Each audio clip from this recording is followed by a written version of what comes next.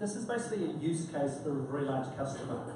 Um, their production, I'm sure you are all customers of that large company. I'm not allowed to say who it is because they're not a reference customer yet, but I'm pretty sure you've used them. So I want to go through some of the challenges we used to make them go faster with the caching technology. So fundamentally, this is a public company. They're all about making money. They want to go faster, and they want to do it with less hardware to increase their profits even higher. Last year, they made over $10 billion. So this is a global company. Um, they're in basically all countries in the world. I'm pretty sure your customers are that entity. Um, so they didn't want a science project. They've been in production for a couple of years. What they don't want is downtime. What they don't want is surprises. So they don't care how cool or fast it is. They want it to always work. And they want something better than their existing solutions. So just to show of hands, how many of you guys have used Cassandra? Or know about it? Okay. Um, MongoDB, Couchbase, Aerospike. So those are technologies they use today. They want something faster and cheaper and more highly available than those technologies.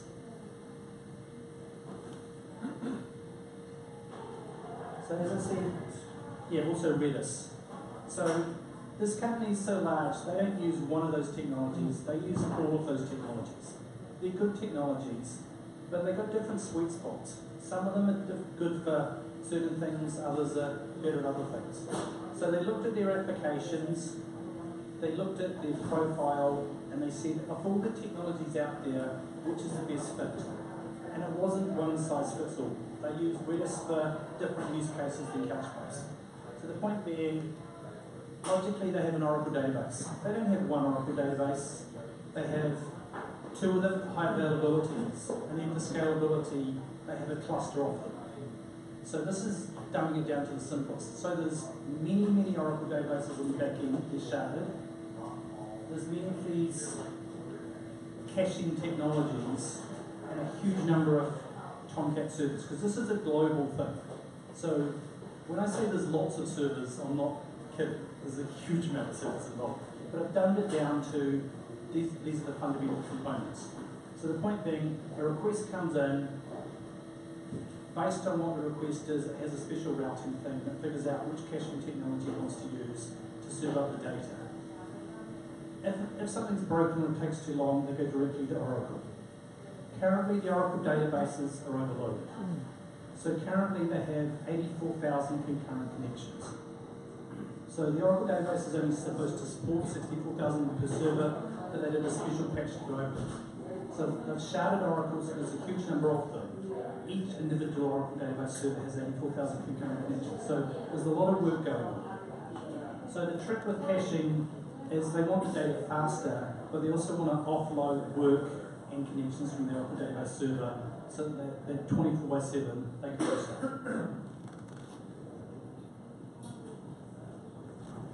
So, these are all good technologies. They wanted to go faster, they wanted to do it cheaper, and they wanted to minimize downtime.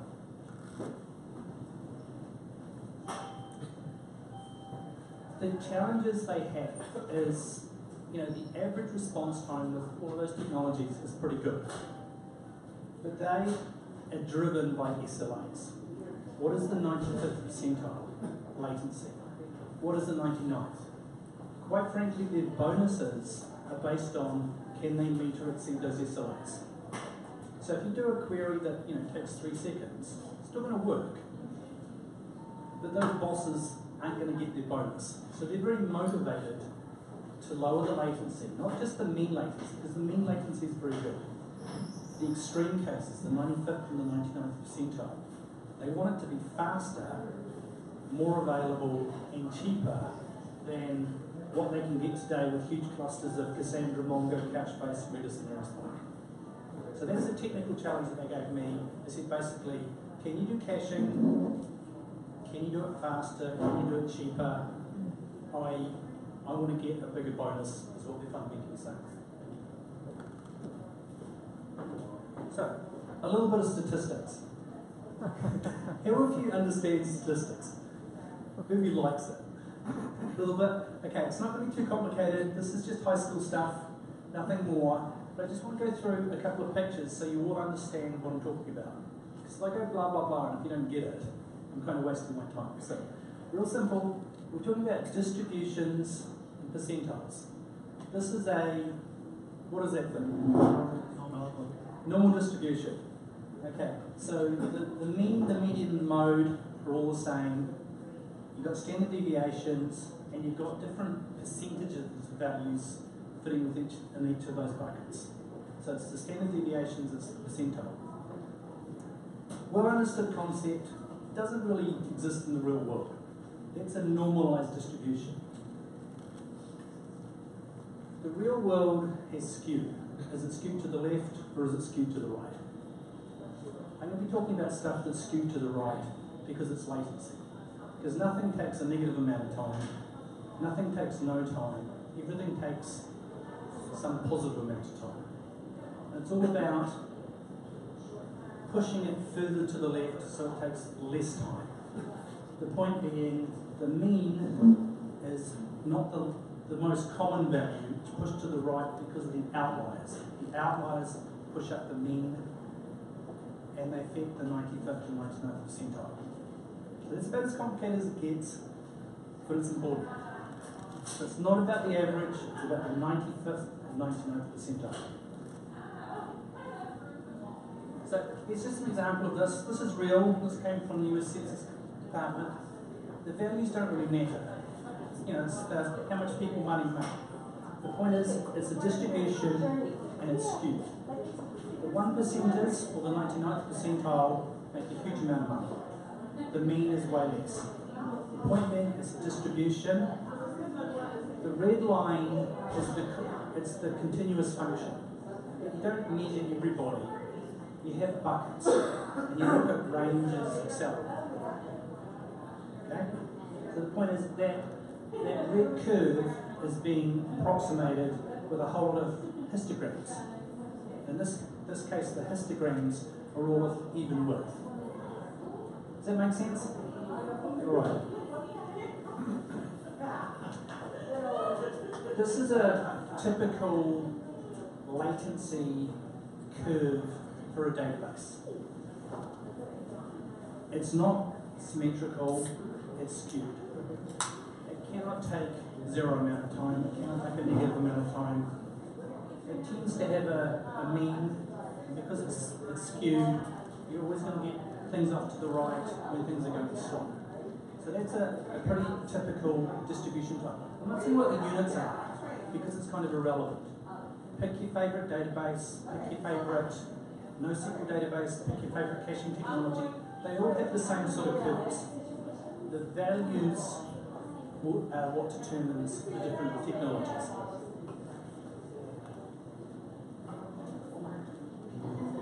So, over to the extreme right, you've got the 99th and 95th percentile. So this talk is all about moving those 95th percentiles as far to the left as possible to make things go faster. So we're going to have buckets in this histogram, and for convenience, the buckets are not the same width. The point being, virtually, you know, because you can't have no, you know, zero latency, the width of the smallest bucket is wider. Likewise with the largest bucket. So the, the width varies based on the sort of expected values you're going to get. Because you've got to measure them, you, um, it takes up space. So you're doing a measurement and you're putting in a bucket. You're incrementing a counter and putting it in a bucket. Does anyone not understand that? So the point being, the, the frequency of values in a bucket gives you the histogram. The histogram approximates the continuous function, which is reality. You handcrafted those bucket size, those bucket ranges, is what you're saying. Absolutely. I actually wrote this as part of the product many years ago, so that's a detail. But the point is, I didn't invent this. Pick your favorite technology, look up papers, everyone's doing the same sort of thing. So, this is the shape of the distribution which this large customer has with Redis, Cassandra, and you know um, Mongo and Couchbase and Aerospike. And the values to the right are the problem, the 95th and 99th percentile. They wanted something better. I'm going to cut to the chase. What we got when we used TimesTen as a cache was this. Same buckets, it was very skewed to zero, which is a good thing. So the 95th percentile went from 234 milliseconds down to less than one millisecond. The customer was very happy about that. So I'm going to go into the sort of details of what that means and how we achieved it, by the way, with zero code. So, you got questions? Yep. Are you going to talk about the like network architecture this, like where these different elements of the system are living? Uh, Sure. I'll, I'll jump back to quickly address that.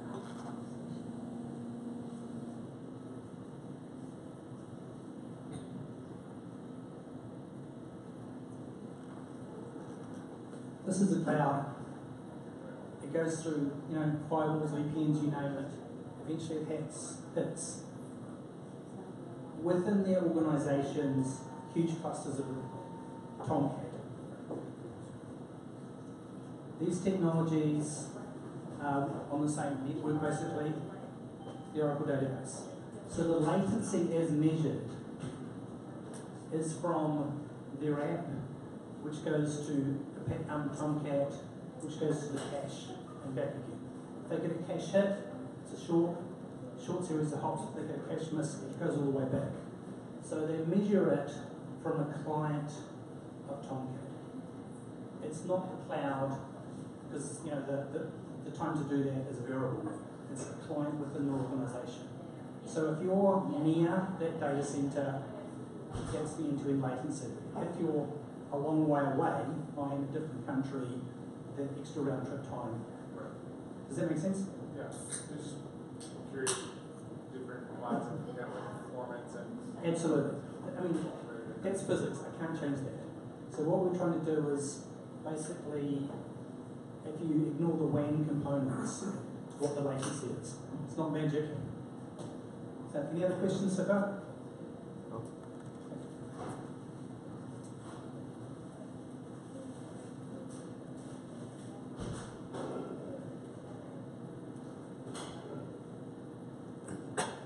So what we did in reality, I said the buckets were all the same width. Yep. Uh, what kind of data are they storing in this uh, database? Um, can't tell you the customer or the exact data. There was a lot of strings, a lot of numbers, and a lot of dates. The transaction data or the pricing data? This is, yeah, um, I'd love to tell you, Okay, and no it worries. would make it like when they're a reference customer, I want to tell you who they are. Until they're a ref- reference customer, it will give the game away too easily. What kind of industry? Likewise. but when I say you're probably a customer, I mean, Are they in Seattle? hold on. Usually, usually there are benchmarking data sets, right? Yep. Which, on which most databases are being benchmarked Yep. and sort of provides a similar platform, like we don't have to ask what the data is. So Yep. do we have numbers like how did that performed on? A- Absolutely. Um, you familiar with YCSB? Um, just trying to remember the numbers. Come back to me. Um, so there's, there's published numbers from you know Cassandra, Mongo, Aerospike, etc. We have the highest published numbers. Off the top of my head, I can't remember it is, but in the talk, I'm sure I'll remember. The distribution would probably still be the same. Second. Distribution would probably be still be similar to what you have, right? Um, YCSB is incredibly simple. It's a single table. You're basically doing key lookups. This is doing joins. This is complicated any other questions? Okay. So, as I said, um, it's a histogram. You've got buckets. Between naught and roughly 16 microseconds is a bucket. 16 microseconds up to 125 microseconds is a bucket. And then we go to 0.001, that's one millisecond, 1 to 8 milliseconds, 8 to 64 milliseconds, up to half a second. So things go larger. This large number is ridiculously large. It's just a bucket that, you know, if something goes really wrong, something always lands in a bucket. So the point is, we deliberately chose the buckets to represent the expected values. So this isn't specific to the customer. This histogram is built into the database so we can measure performance. The point being, we think things should occur less than or equal to 16 microseconds because the database can go faster than that. Okay, so that's those are the bucket sizes the histogram. Do you guys understand what that means? Okay. You guys are smart. Most people flat out do not understand this. I talk about distributions and percentiles and they go like, what? so the point being, because it's a histogram, we have frequencies. So most of the values took 16 microseconds or less. Okay? Kind of make sense? Anyone not understand that? So, if you're doing joins in the memory, Yep. uh, it will really caching all the database Oracle into uh, in memory, or how much how much is being cached, Yep. and, and how do you decide what to cache, and how stale can it get before you update it? Those are all excellent questions. So, if everything was cached, this would be really simple. They cache as much as they can, but they cannot cache it all. Just because, just imagine a new customer came along. If a new customer joins the system, goes into Oracle, my cache doesn't know about that until I automatically update or refresh my cache. So I don't have a 100% cache hit ratio. But what percentage is it of the total? It's 97% cache hit ratio, which means in practice there's 3% cache misses. And if you look at it, some of them are taking more than a millisecond. So it's actually two distributions. It's a distribution for cache hits, overlaid with cache distribution, a distribution for cache misses. So between one millisecond and half a second is the distribution to go to Oracle. The stuff that's all way less than a millisecond is the distribution where we got cache hit when we go against the memory database. What are the physical sizes of the memory and the Oracle? Um, Oracle's huge, like big SPARC servers. Think the biggest SPARC servers. These things are just VMs, um, less than half a terabyte. There's lots of them, but the the working set that satisfies 97% cache hit ratio for the couple of key tables that they really care about is less than half a terabyte. But that means you're talking about very, very specific use cases. Absolutely. So this is a large organisation, they have many applications. They looked at their hottest thing that they had the most pain point. There's basically four tables. There's a couple of single table lookups, a couple of joins. So if you imagine this thing is so large that you set, you have a, a pattern for reads and a pattern for writes. You use different technologies for reads and writes. So if you look at the read pattern, which currently gets a bunch of these, you know, the Cassandra, the Mongo, um, we literally replaced, instead of being routed to, you know, Cassandra or Mongo or Couchbase, it's routed to the Tony cache. So imagine there's many applications, incredibly complicated schemas, many tables. They looked at the, the hottest part of their system that's used all the time, that was causing them the most grief, where they weren't hitting their SLAs, so they wanted to go faster. So absolutely, it's a subset of their entire system. It was the problematic part of the system. So we're not trying to catch everything. They're saying, what is the bottleneck? Make that go faster. Any other questions? Hold on. So, if you do the math, 87% of the hits were taking 16 microseconds or less. So I looked, I looked at the percentages of each of those buckets, and then just to make life simple, I then added it up. So if you add the first two rows, 98% of the hits were taking 125 microseconds or less, which is pretty good. Um, if we add the next row, we're up to over 99%. I don't know, so it's 99.6%. I don't know what the 99th percentile is because I don't have that data. If I had more buckets in histogram, but it's obviously between those two values. So the customers are very happy. Their existing 95th percentile was 324 milliseconds. they weren't hitting their bonuses. That was the 95th percentile. The 99.6th percentile was less than one millisecond. So it's a lot faster, and they're getting their bonuses. They're very happy campers. So I thought I was done. I thought, cool. They wanted to go from 324 down to about 20 milliseconds. We went to less than a millisecond. I thought we're done. And, uh, you may have answered this already, but the path is simply Oracle now. It's it's it's from the Tomcat server to the Oracle TimesTen cache Yep. to the Oracle database. Yep. None of those other systems are involved in this path All this workload. for this that- data. Yes. Okay. Yes. So you So- replaced all of those systems, not just a subset of them. Um, technically, we've added to it. So we've been in production for about six months now. This is a very conservative company.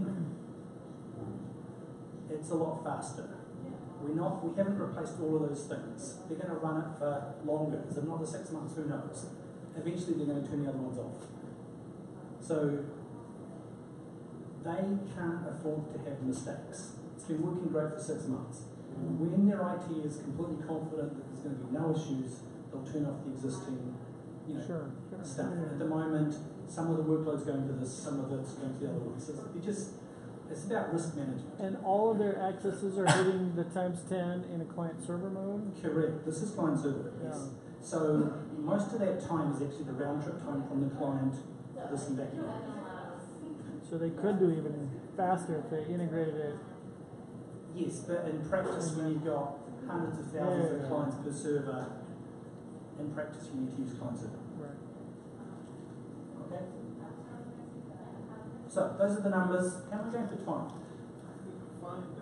Okay, so I'm now going to tell you how we did it, or more specifically, what we didn't do, which was write code. We configured things. So that's the actual output if you use the product. It's just a command line thing. You get some buckets, not very pretty. We do have a, a GUI with a histogram, but that's the real data. Yeah, so as I was saying before, I thought I was done. There's two distributions. The stuff highlighted is the second distribution, which is the cache misses you have to go to Oracle. For the last couple of months, we've been tuning that. It's not a TimesTen problem, it's how can we make Oracle go faster with cache misses and connection pools. We basically need to write our own connection pool because we are automatically updating the cache. Because like if a new customer comes in, that customer isn't in the cache. So we have to say, is there any new inserts, updates, or deletes? If there are, we need to add them. So that's what we call a cache refresh. So we're constantly updating the contents of the cache. So we're always updating the cache. If there's a cache miss, we need to go to Oracle. It turns out we had contention. If you get it over 500 cache misses per second, just with our internal data structure, we get contention. So we rewrote that to make that scale better. I think you got a question. Yes. If the cache is missed, does it does the same call wait to refresh? Yes, Or does it, It blocks, we transparently get the data from Oracle, we update the cache and return it. So the round trip time to Oracle is added to it, which is why we're getting some of these things which were taking between one second and up to half a second. I mean, one millisecond up to a, a second. So they're pretty rare. Roughly 0.3% of the times that was occurring, they wanted to make that particular distribution faster. So that wasn't making TimesTen faster, go faster, it was making, getting the cache miss, basically getting the Oracle code to go faster. Yep. So uh, sometimes it can happen. The customer uh, data is invalid, no longer like some updates might have happened. So uh, how are how is the database handling? Yeah. Great question. I'm going to cover that in about six slides. If you just hold that thought. Okay. Yep. So the, the original database is like one key value pair and the other blocks effects. No, no, no, no. The original, it's an Oracle database with a schema. Yeah, we see right Yeah. How, how, how many indexes do you have? One index or the one?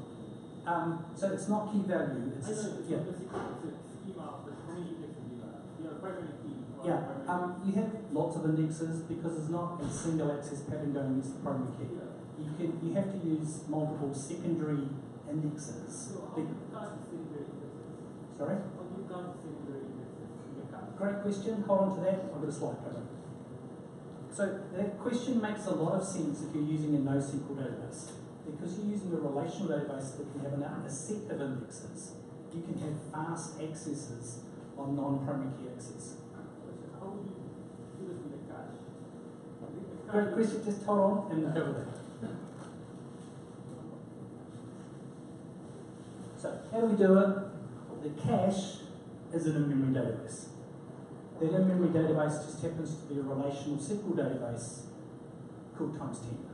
So TimesTen is a database, and we turn on a feature which says you're actually a cache rather than a system of record. About half of our customers use TimesTen as a standalone system of record. The other half uses it as a read-write cache in front of an Oracle database. So, use a really fast technology for your cache. because you're caching data from Oracle, you're caching relational data. So you've got tables, you've got relationships, you have hierarchies. Is it, is it one to many, to many, to many, to many? It's as complicated as you want it to be. The point being, you don't cache everything. You figure out the hot tables, you cache the hot tables. So you're caching a subset of the tables. If you look at those tables, you don't have to cache all the columns. You cache the subset of the columns that you care about. And also you don't have to cache all the rows. You cache the subset of the rows. So it's the hot tables, the hot columns, the relevant rows. So you could have terabytes or zettabytes of disk and whatever your back-end system is, in this case Oracle. But you can be caching that in only gigabytes because you're not caching everything.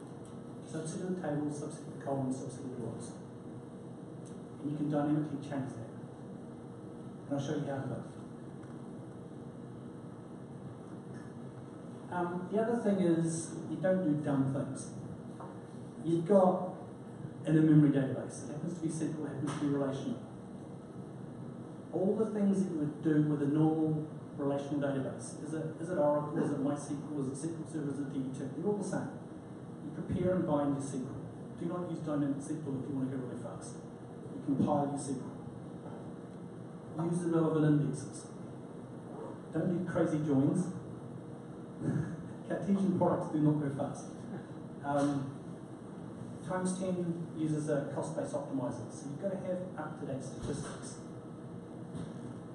And once you've done all that, look at the stats to see where the bottleneck is and tune. So none of that's rocket science. If you don't do that, it won't go fast. So do basic tuning. There's also some hardware. Um, you know, the customer had one slow disk because it costs less memory, I mean less money. I said if you use two disks or an NVMe disk, it'll go faster. And we did lots of benchmarks and lots of comparisons. And instead of spending any more money, they got us to make our product faster because they didn't want to spend more money. Figure. How much of that is in code and how much do people you know, configure? Zero code. You configure, and I'll show you how. So I'm running out of time, so we have lots of customers. SQL database runs in memory, still persisted disk.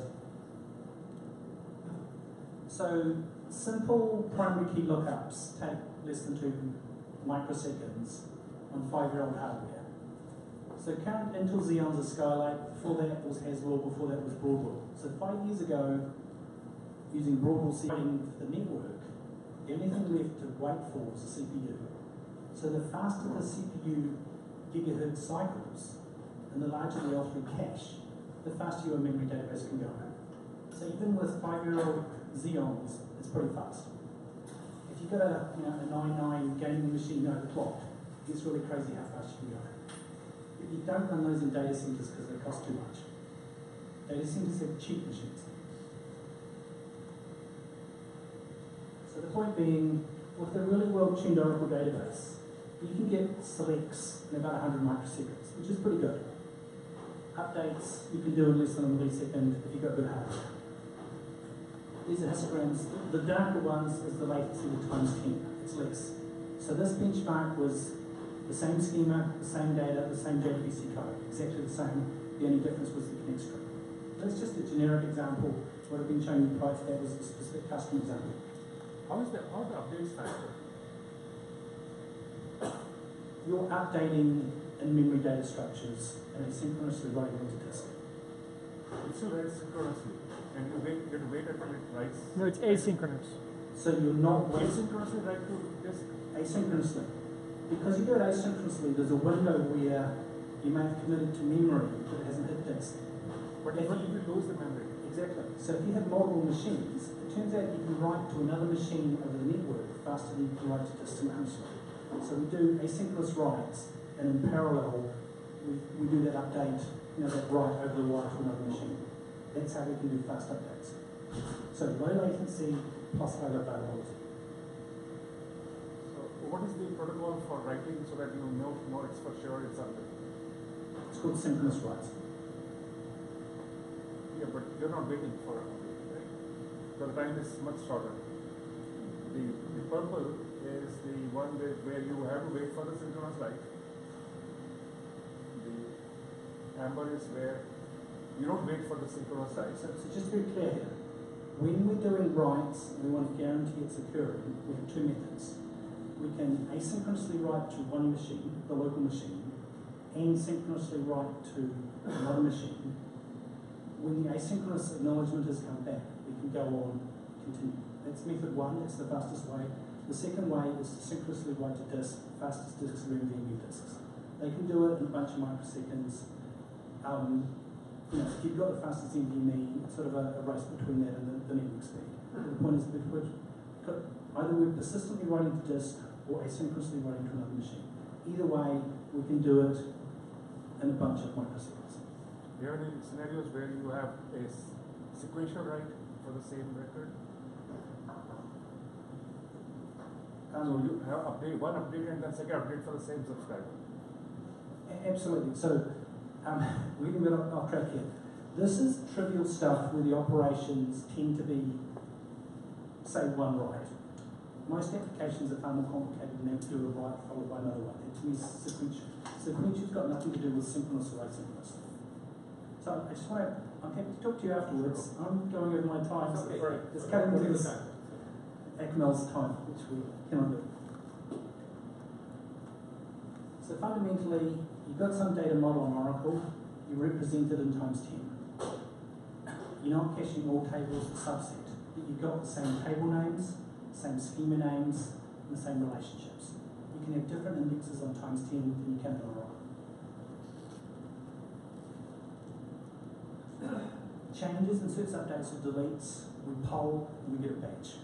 You can poll as frequently as every 100 milliseconds. For the writes, we do it in parallel, you'd still guarantee order. The point being, we declaratively say which tables, which columns, which rows, and how often you refresh. Yep. How, how do you resolve conflicts. So the cache is not one boss, and there are multiple bosses. Uh, Can you repeat the question I can't hear? the cache multiple bosses. Yes. What is so you do some kind of hashing distribute the values of cache? Um, Or is the same thing everywhere? the product as it is today, you cache it on one machine. Or is this one machine? Just bear with me. There's nothing stopping you either caching the same data over many machines, if it all fits in memory, or partitioning your data. We have customers that do both. So we're about to add caching where we use a distributed database. So in that case, some rows are on some machines and some are on other. So that's a distribution. Call it a hash distribution. But today, either the data all fits in one machine, and you get more machines for high availability, or if it doesn't all fit in one machine, customers manually shard their data. Some rows are there in one machine, some are in another. Alright, so you do let's say two, two machines, one machine has x equals five, the other x equals six. Yep. We want to do the batch synchronously, Yep. how, how, how do you resolve conflicts? Um, currently, that's the application's responsibility. If you partition reads are in this range and writes are in this range, But if there's over overlapping rows, there is a problem. Yeah. You, you understand? so don't own that.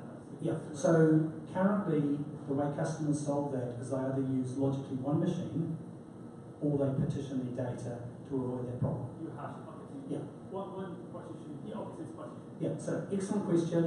That's That's, not distributed. Yeah, no, that's, that's the key Reads are easy, writes are hard for the reasons you're talking about.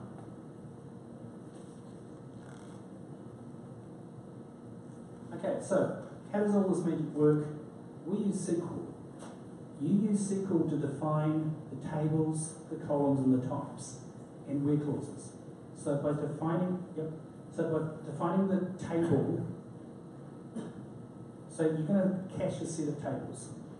Cache group caches one or more tables. You can have multiple cache groups. So you're defining the tables, the subset of the columns, and then by using the where clause, the subset of the rows.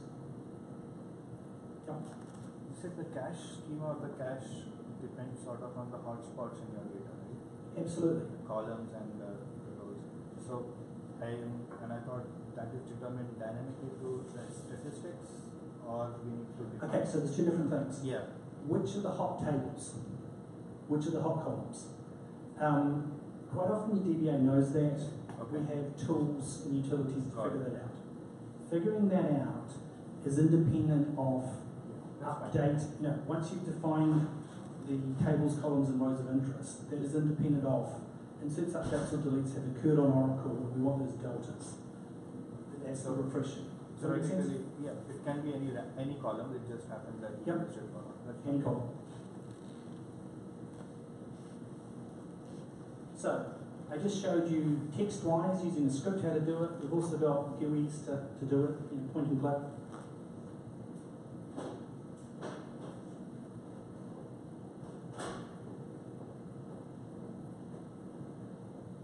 So the net effect is when you type it in by hand or use a GUI to generate, in this case it's a read-only cache group, in this case it's auto-refreshing every five minutes.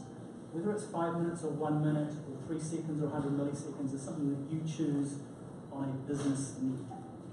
Um, it's going to automatically refresh it and you're specifying the tables and columns you care about. So the point is, you're not writing a huge amount of code to figure out what to cache. The DBA declares it.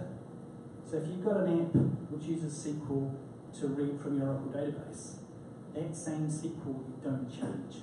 You connect to the TimesTen caches to the Oracle database directly. Because it's the same schema, it's going to the same tables with the same column names. A select that went against Oracle will also work against the TimesTen cache unchanged. You change the connect string, you don't change the SQL. So if you've got a JDBC or an OCI or a .NET program, you don't even need to recompile. Just change the string. Here's an example where it's a hierarchy, we've got the employees and job history tables. So you can have arbitrary deep hierarchies. Yep. So, So it's uh, got to be quick, I've got this in a minute. okay, so go ahead. I can ask later.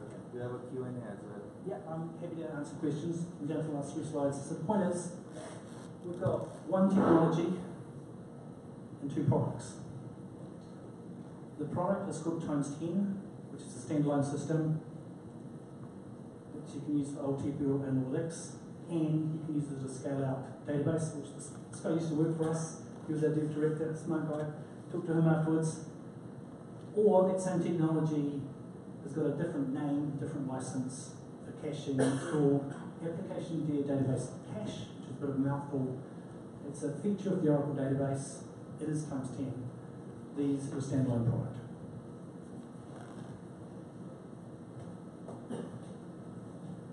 So, in summary, you can do cloud scale read-write caching with the 99th percentile of less than one millisecond. So I've been talking about one particular customer, with telco, same sort of thing, same sort of latency. For all this sort of things, we have found no evidence that TimesTen is not faster than all other competition. Lower latency, better 99th percentile, and you don't need to write any code for the caching. You declaratively define the behavior. So it's fast. So the point being, the customer who had all these free open source products paid us a huge amount of money because they could go faster, be more highly available, and they didn't have to maintain the glue code to do the caching. So they paid us some money, they were happy to do that because they got bigger bonuses because they could meet their SLAs. So they paid money essentially for the glue code, right? We wrote the glue code so they didn't have to. So it's actually technically it's not zero code, no code, there is That's- code, the glue That's a fact. We sell them a product, a black box, you configure it, we have lots of glue code. And You don't have to write it, you, you define declaratively SQL to give the behavior of what's cached, read only or read write. And there are two parts to that glue code. One is the routing for reads and then the connection change, uh, change in the driver, like to push the reads, push the new customer Yep. and the. Yep, so I've run out of time, I'm happy to answer questions after Akmal's talk. Excellent questions, I think you guys understand, thank you for your time.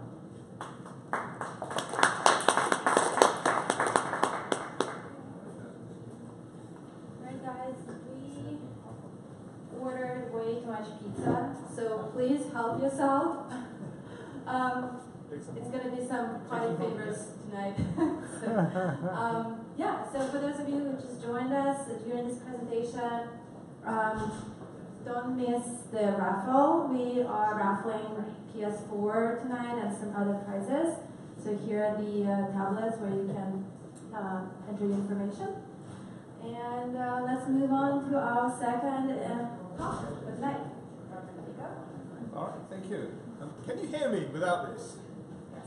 I need my hands to do a demo, so uh, we'll, we'll, we'll see. Okay, so all right, that's great. Um, okay, so and, and in terms of winning the prize, you've got to be here to win it. Okay, if you leave early and your name gets called, sorry guys, you know we're just pulling another name out of the, out of the bag. So. We will stay with you. Great. All right, so let's just get the uh, HDMI. Thank you. All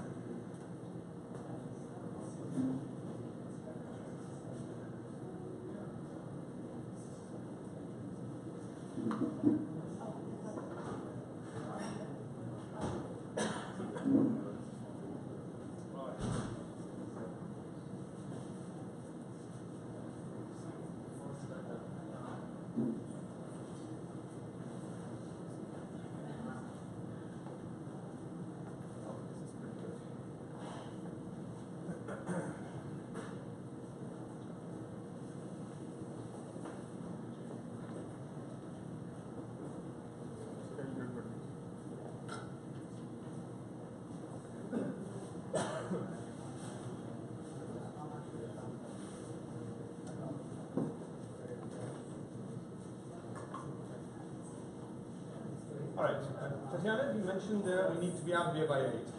So, okay, guys. So, I will do my very best, okay, to make this reasonably short. Okay, got a couple of demos, and I think some of you have got questions for Doug as well. So we need to allow a little, little bit of time for that.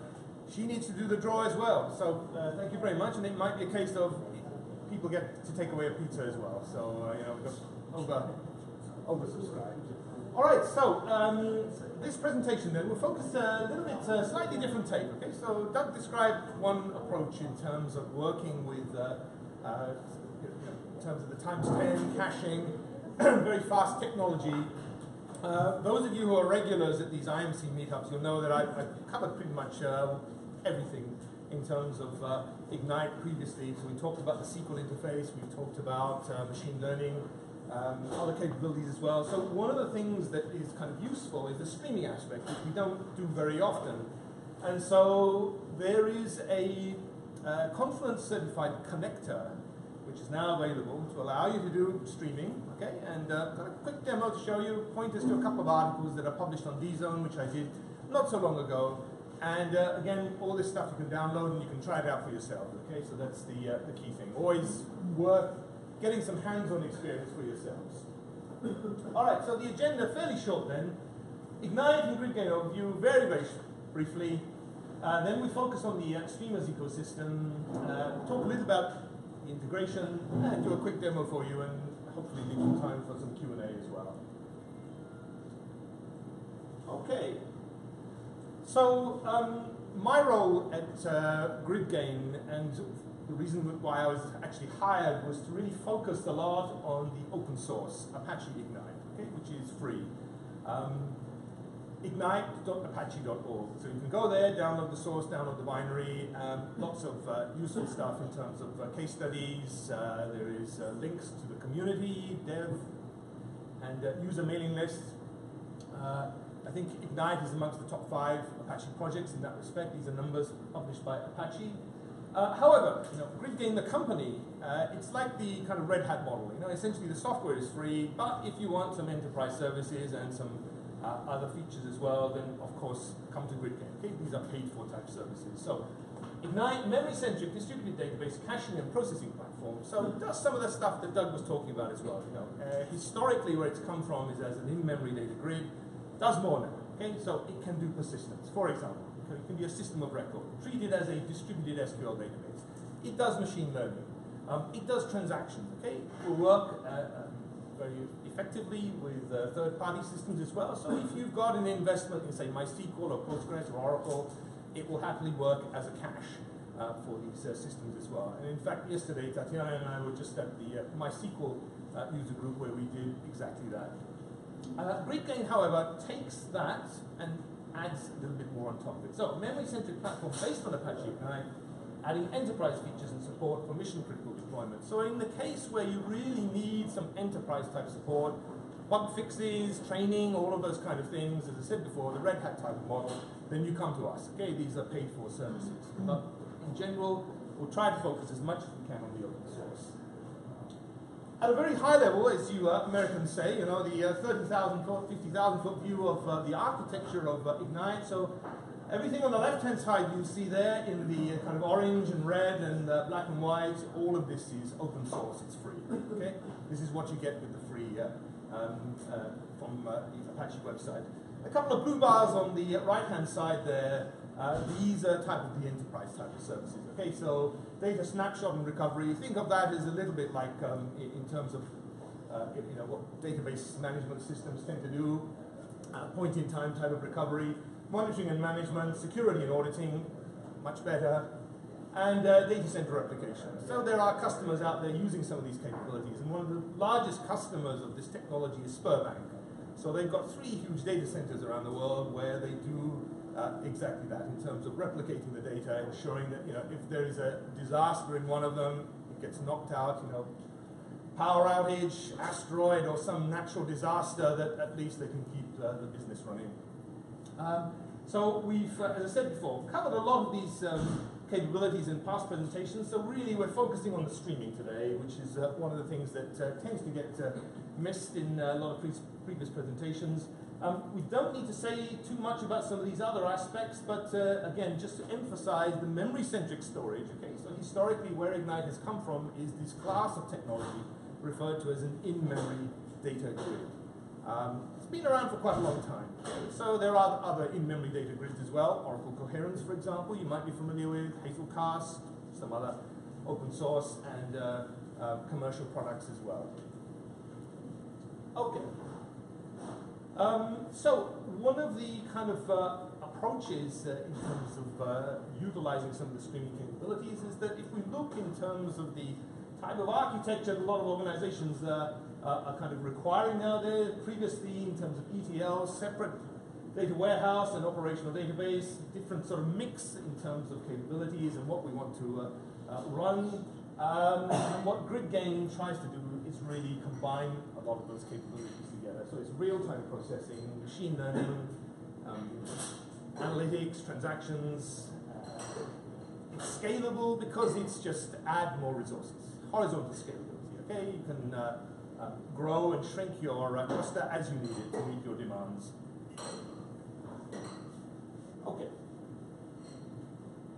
Um, overall, then, in terms of the uh, Ignite sort of streaming approach, well, it works a little bit like this. Okay, so we have this concept of Ignite streamers. So Ignite happily integrates and has connectors and adapters for a whole bunch of streaming technology. So if you're using things like Spark Streaming, for example, Flink, Kafka, all of these things, there are connectors and adapters for those. No point in having that capability built in Ignite itself, it's reinventing the wheel. Okay, someone else has already done a good job, so why not utilize those capabilities? And uh, today we'll focus on Kafka. So there is a little bit more information about this, but essentially what we can do, we can parallelize the operations. Data can be read in parallel into our cluster, and then once it's there, of course, then we can execute queries, which again can be parallelized. Okay, so we're using the power of the cluster, we're able to use the parallelism uh, to be able to get back results much faster than otherwise. And I touched upon a couple of these already, so I've mentioned some of these technologies. So various streaming technologies. Uh, lots of this is documented on the Ignite uh, website at Apache, Kafka, Spark, Flink, Storm, process, enrich, and push to Ignite. Okay, so there's a whole range of capabilities that we can do. So as we're streaming that data in, can be enriched. Okay, so we've got examples that uh, uh, code examples published on GitHub, for example. So if you integrate with Spark, for example, Spark can do some enrichment, can enhance data somehow, we can stream that back into Ignite. Ignite can act as a sink and do some additional processing there as well. So a kind of a, a, a new stack that we can uh, use for this type of processing. Ignite is a final store for streaming data. So think of it as a sink, okay? So as a, as a destination where the data can be streamed in, can be stored, um, and you can do other things as well. So things like complex event processing. Okay? You can define windows. You can say, all right, I'm interested in the last five minutes worth of data, or I'm interested in the last 10 events, or something like that. Very perfect, uh, you know, perfectly capable to do that. Um, and the other thing is that you can decide what you want to do with that data, whether you want to just read it in, you know, if it's a continuous stream, process it, get rid of it, or if it needs to be stored for longer term, you can do that as well. Um, a little bit more in terms of the API then, as we briefly touched upon this a couple of slides ago. So partitioning of streams of data, Ignite Streaming Powerhouse. Okay, so the Ignite Streamer can manage this process of dividing up the data for you uh, into the cluster. Stream receivers and transformers, last four updates. There's a whole bunch of additional capabilities that we can do, um, and we can, you know, again, treat it as a sink or process sort of continuous queries, or it can be finite. Um, there's other types of capabilities that we can do in terms of, uh, you know, do we want to send some type of notifications, for example, once some operation is completed? Uh, either we process the data and then we can send out these notifications. These are, again, perfectly possible. Again, refer you to the documentation for this. Okay, let's drill down a little bit then into the actual Kafka connector then. Okay, so this is something um, that was announced not very long ago. Okay, so this is something that was done in conjunction with Confluent. It's certified by Confluent, uh, supported by GridGain, has a whole bunch of capabilities. So there is an open source solution as well, not as capable, as obviously, as a commercial solution, which uh, GridGain would obviously like you to buy and uh, to be able to use. But what the commercial solution provides is a whole bunch of capabilities that you don't see in the open source solution. So you can actually implement this yourself if you want to you know, it's maybe a couple of hours worth of work if you really wanted to do it. Um, but this thing goes far beyond that. Okay, so the open source solution is perfectly possible, gives you some capability, um, but this really builds upon that and goes uh, much, much further. So a whole bunch of features that you can see in terms of publish, subscribe, scalable, fault tolerant, real time, persistent, uh, mostly written in Scala. Okay, I think this is for uh, uh various uh, um, sort of support reasons. Graphically then, in terms of the uh, uh, architecture and the approach, can be something like this, okay? So this is a high-level view in terms of the, the connector. Um, now, notice here, for example, that uh, we can have a situation where Ignite, GridGain can be the source, or it could be the sink, and then we can have any Kafka-enabled data source, any Kafka-enabled data sink, and a combination of these uh, can work either way. So the, the, demo that I'll show you today very quickly is actually going to use uh, MySQL over here, um, and uh, we've got uh, GridGain uh, running as well. So, uh, and uh, again, we can switch this around the other way as well. Um, one of the things that uh, Ignite provides is, is, this ability to work with third-party stores. So caching, I sort of touched upon this a little bit earlier on. Um, one thing to remember is that the way that Ignite works and its caching capability works with third-party storage is that essentially you're reading the schema and the information from your third-party system. Ignite recreates that data in memory. It operates on those uh, uh, the data that you have in memory. You can do updates, you can do queries. If data have changed in memory, it can push those changes back uh, to the storage, third-party storage, you know, MySQL, Postgres, whatever. However, Meantime, if the, any changes have occurred within your database system, Ignite doesn't see them. It doesn't work that way. Okay? For that, you need some kind of third-party solution, such as uh, Oracle. Um, um, I think it's GoldenGate. Doug, yeah, that's the uh, that's the solution there. Or you can actually do it using this Kafka. Okay? So publish and subscribe. So you can have, for example, your database system over here uh, sends out um, know, information about the updates and changes, which can be read on the other side as well. So that's perfectly possible and a solution that can work uh, in this kind of scenario. Um, okay. A little bit more then. So um, we talked about the parallelism. Uh, now the way that if you know anything a little about Kafka, it's kind of got ask, you know, how does it do transactions? How does it guarantee that operations are, uh, are already done? Well, this exactly once processing semantics is the, the uh, approach that they use. Um, single connector for multiple caches, topics, filtering of source and sink connectors, enterprise ready. So as I said before, it's supported by GridGain, certified by Confluent, and uh, really it goes far beyond the just the open source sort of capabilities that uh, uh, you could implement yourself. Okay, so diving straight in then, let me just show you an example of this working. I appreciate that uh, we are pressed for time and uh, Tatiana needs to do uh, a draw as well. Okay, so let's just start. I have to open a couple of these terminal windows. Let's just see how big this is. Can I uh, load this up? Yeah, that's great. That will work. All right. So let's use MySQL. Okay. Okay. Okay. That seems to be running already. That's fine. Slow this down, and we can uh, have a look at this. I'll use uh,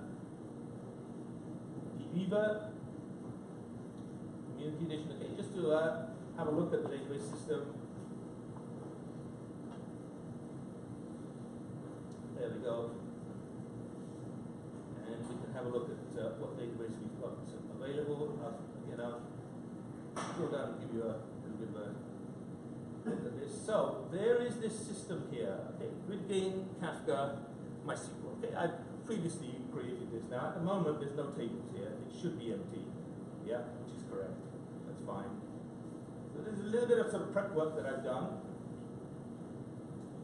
Okay, now we need to open uh, a fair number of these uh, terminal windows because I have to run a bunch of stuff. Some of it is Kafka related, Zookeeper and other things as well. Some of it is Ignite related uh, as well. So bear with me, okay? So I'll talk you through the steps. Now, because I've got fat fingers and I can't type well, I've got a cheat sheet, which I'm going to copy from, right? so there we go. All right, so we've done that, right? So the next thing to do is we'll fire up uh, game. Okay, so this is just a simple uh, step just uh, define the GridGain home variable. Okay, just points to the installation directory. That's it. I mean, it's just a zip file. Just unpacked it, and uh, it's there. And then again, the way that we launch this, uh, here I'm passing a configuration to this particular instance. It just picks up some information locally, and it's a way that the, you know, for example, um, Ignite or GridGain servers can find each other. So there's a couple of ways. Static IPs, multicast. We can define the range of addresses and port numbers that we need. It's all XML. Okay, very, very simple. It comes pre-configured with a whole bunch of stuff that you can use, or you can define your own. So that's fine. Okay, so let's launch that. Just needs Java. Okay, so hopefully that will uh, boot us up something. There we go. So, so far we've got MySQL running. We have um, an Ignite, GridGain node server up and running as well. Okay, now one of the ways that we can have a look at, um, just get myself a new shell window. I said before I'm going to need a couple of these. There we go. Uh, there is a, a, kind of a web interface which is uh, kind of nice in terms of being able to run notebooks, run SQL queries, for example. Uh, but in order to use that, I mean, it's a REST-based interface. We have to have this web agent running locally. Okay, so it's again just a, a very simple download. All it's going to do, I'll run this. Okay, and let me just zoom in and again show you. So notice here we've got console.gridgain.com set up as the default, okay, and in the fact down at the bottom there, it's found one server node which is running on this uh, laptop, which is fine. Okay, we can have additional ones as well if we want, but one is sufficient for our uh, demo purposes. Um, a word of caution. Uh, I'm using this console.gridgain.com. Now, obviously, that's running on GridGain's website, right? If you want to use this, you can download this and build it locally, host it behind your own firewall, which is the recommended approach. For simple demo purposes, and because I happen to be a GridGain employee, for me it's okay, right? But for, you know, if you want to uh, use this for your own environment, I would highly recommend that you uh, um, think a little bit more carefully about how you're going to do that. Okay, so there we go. Now, we can connect to our cluster, and uh, there we go, console.gridgain.com, and this provides us with a number of sort of capabilities. Okay, so we've got sort of queries, various notebooks that you see I've been working on previously. There's some monitoring tools, dashboard, for example, gives me some information and statistics, CPU usage, heap size the cluster. Not very useful at the moment since I've only got one node running, but you know, over time the numbers would accumulate. Further down, I've got some additional information in terms of uh, you know, persistent storage, caches, and so on, services, events. Okay, most of these, as you can see, are empty because there's not much activity there, and I'm not utilizing anything in particular. That's absolutely fine. Okay. Now, one of the things that we've got here is this uh, ability to use some uh, notebooks, and I've previously set this one up. Okay, so here you can see standard SQL. Okay, so, this is going to do a simple sort of create table, and we're going to enter in a couple of values, all right? Just uh, can be as complex as you like. SQL 99 is what is the level of uh, SQL that's supported there, so we can execute this. Okay. So where does this create a table? Uh, this will create a table. Uh, good question. So the gentleman's asking, where does this create the table? So I'm issuing this create table statement. Where is it going to happen? This is going to happen in my GridGain cache. Okay. Right. So remember, I've got a server running, GridGain or Ignite. Okay. Doesn't matter. For our purposes, I'm using the commercial versions. Okay. So the server is running. I run this statement. It will create a table in that cache at the moment. Okay. And I can show you. Okay. We can scroll back to monitoring. Okay. And again, remember, this is giving us some insights into our cluster, our GridGain or Ignite cluster. Okay, so we work with either. If we scroll down, there we go. And notice here, okay, just let me just open that up a little bit. If you can see that SQL public person. Okay, so this is the uh, table that I just created, and if you look on the uh, on the other side there, it says primary. Okay, I just created two rows within that. Um, I can create backups as well. Okay, so good practice in a distributed system have at least one backup, but in this case, not required. Okay, it's not the point of the uh, of the demo. So this is now in cache. Okay, there's no connection between this and MySQL or anything else at the moment. Okay, so all I've done is created a simple cluster, one machine, which is just fine. Yes, question. This is GridGain or this is Ignite? So It doesn't really matter. So um, I'm using the commercial version, okay, which is uh, I think on my laptop the ultimate version. Um, if you use Ignite, it will work the same. Okay. Now the reason I'm using GridGain is because the Kafka connector happens to be some sort of commercial offering, so it works with the commercial version of GridGain. Um, like yourselves, if you want to download the commercial version of GridGain, it's a simple form that you fill in. They'll give you a link. You download it. Yeah, I think you can use it for up to 30 days. After that, you can still launch a cluster, but it will stop after an hour. Okay, I'm in the same boat as you. Okay, so I don't have any extra licensing or any capabilities, so it's going to run for an hour for me, and then it's going to stop, which is fine. Okay, we don't need uh, that much time. But equally, if I was running Ignite, I'd get the same results here so far. Okay, there's no difference in terms of doing that. Okay, great question by the way. Great. Uh, uh, we, it's important that we uh, kind of that's fine. Everything is running fine so far. Let's go a little bit further then. Okay, so we've uh, created the table. Now let's do a little bit of sort of Kafka stuff. Okay, so for, for Kafka, there's a whole range of uh, steps that we need to take. And again, I'm going to have to open up a couple of more of these uh, shell windows because there's a whole bunch of stuff I need to run, Kafka server, zookeeper, and so on, in order to get that uh, up and running. Okay, and these are just following the instructions from Confluent in terms of what we need to do to get this working. Okay, so there's zookeeper, that's working fine. Okay, and we need to do a little bit more here. Oops, sorry, wrong window. As I told you, I'm all thumbs. There we go. Need yet another window, shell window to launch that, a separate, separate space. I think I can do command there next time. Okay, there we go.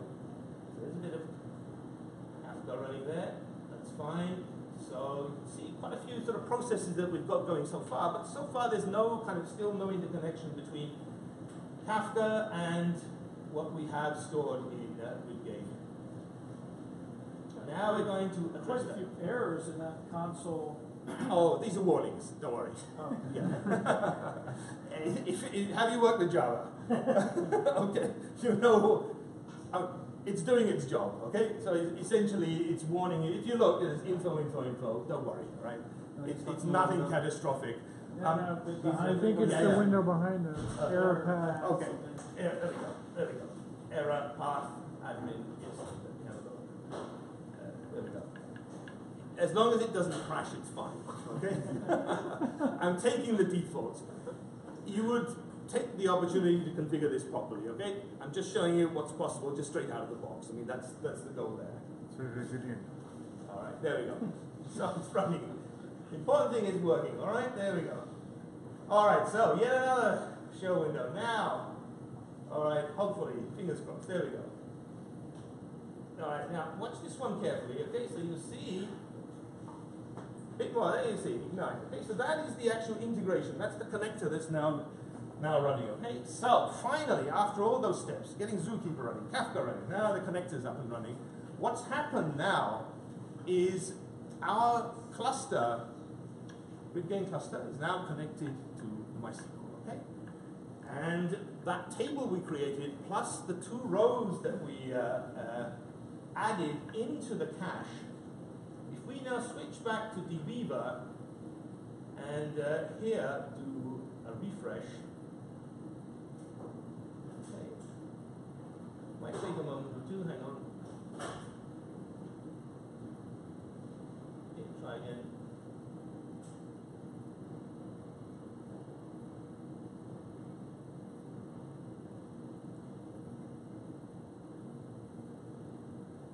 Okay, give it one more, one more go.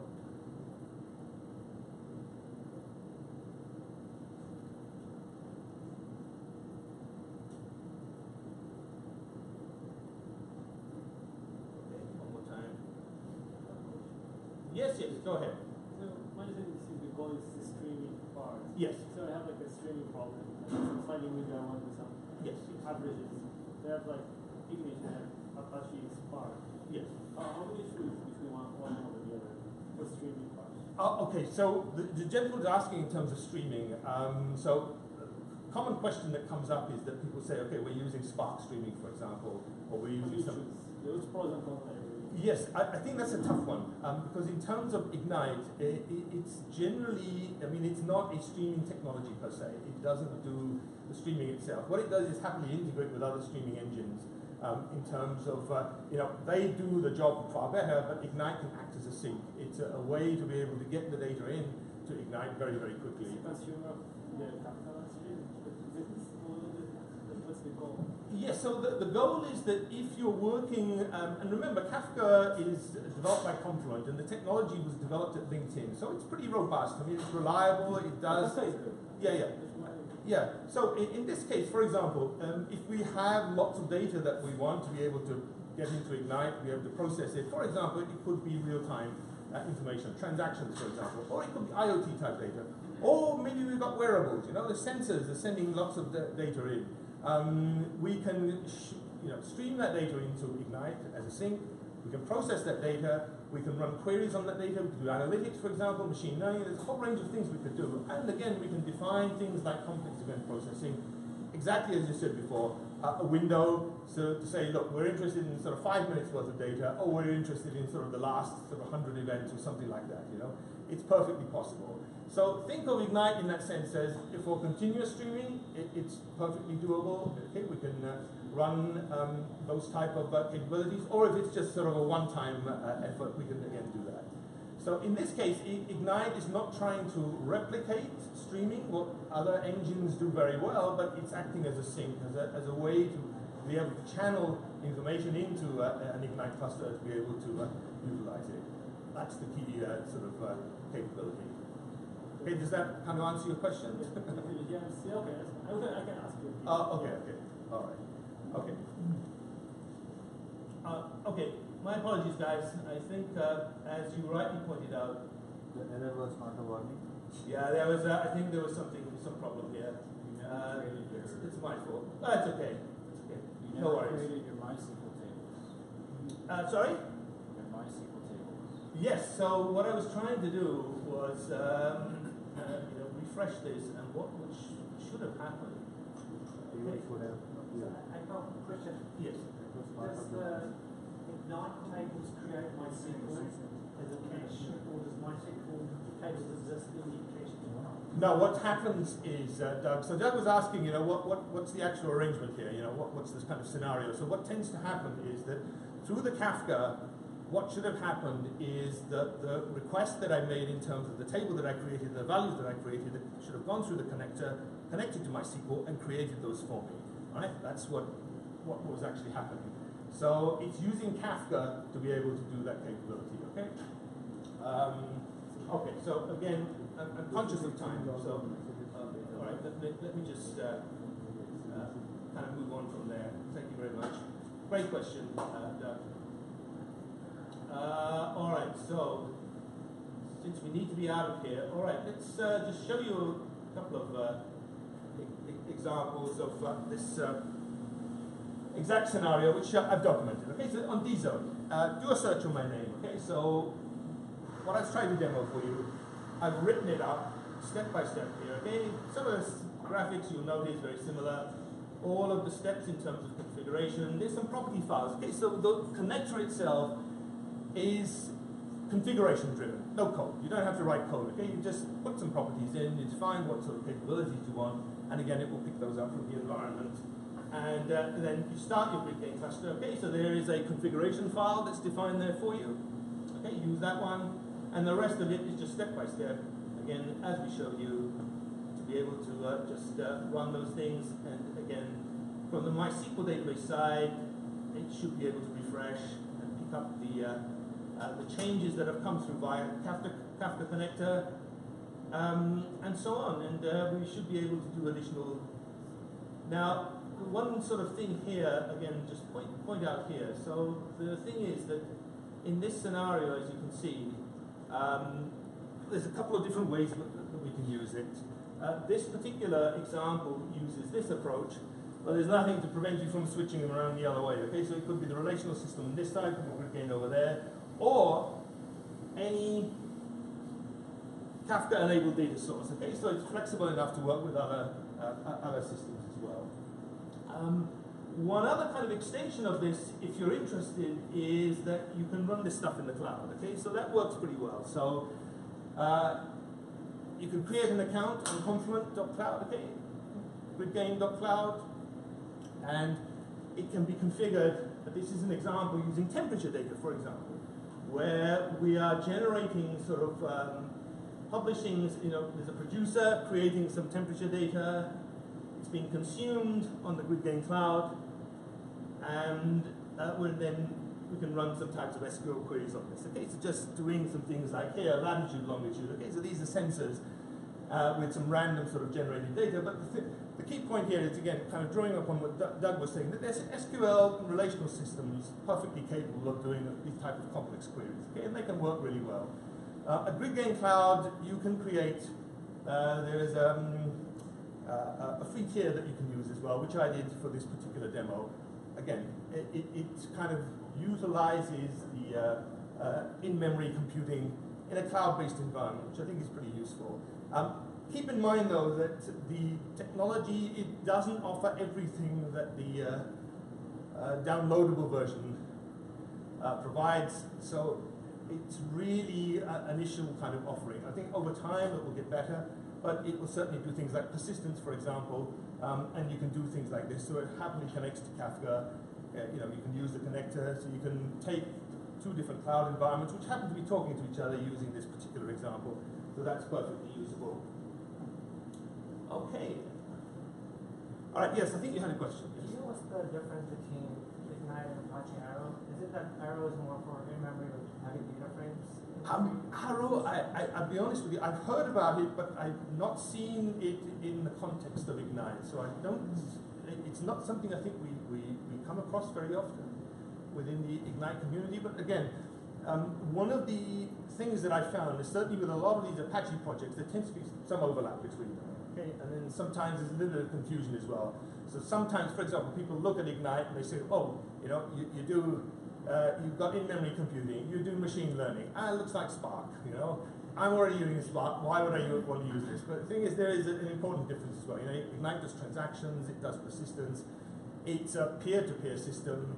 Uh, yes, it's key value as well. There's a whole range of other things that it does. It, it behaves more like a, a, you know, a grid or a database system, a distributed database systems if you want to use it that way. And the key thing, it works well with these other technologies as well. So it integrates with Spark, Flink, and so on. It doesn't try to replicate what they do well. I mean, they do a good job for what they do. It complements them. Um, and it works in other scenarios as well. For example, uh, I I mentioned the uh, ability to integrate with things like uh, MySQL, Postgres, acting as a caching technology. So the messaging that you'll often see there is the no rip and replace. Okay, so that's kind of important because one of the things that I found is that often in life, you know, uh, organizations will have systems, they'll have data. Uh, these things have value. They have business value. They need to keep that for some period of time until you know some technology comes along that maybe enables them to replace those systems, perhaps because they are hitting some performance issues or uh, it- it becomes too old. Uh, years ago, for example, when I worked in my first job uh, in IT, I worked for Reuters, okay, and uh, I joined thinking I'd be working on the latest and greatest technology. The, what they got me working on was PDP-11s. You know, these things were old when I joined, um, and these things had switches and eight-inch floppy disks. But the thing is, it, the technology worked. It did its job well. It was fine-tuned. The hardware was fine-tuned, and there was business value in there. So that's why they kept it, and you know, they eventually it got replaced. I think, you know, by the time I left, few years later, it was all gone. Um, but you know, sometimes there's a, there's a need to maintain these things. So I, I would suspect there is probably some o- overlap, uh, but I don't know enough about uh, uh, you know uh, Apache Arrow to be able to give you. I think it's mostly for data structure. Oh, okay, understood. And, and does it do the streaming as well? I mean, can you use it for that kind of I capability? used it, uh, I think it's still very much in the early stages. Okay. It's the same, you have to comp, it complements Apache Spark. You know, Gotcha, gotcha. Understood. Right, great point. Uh, all right, guys, uh, where's Tatiana? So there you are. Um, uh, let, let her do the draw, okay? All right, guys, because we, we, as I said before, we need to vacate by eight, so we've got a little bit of time. So if she does the draw, uh, I think both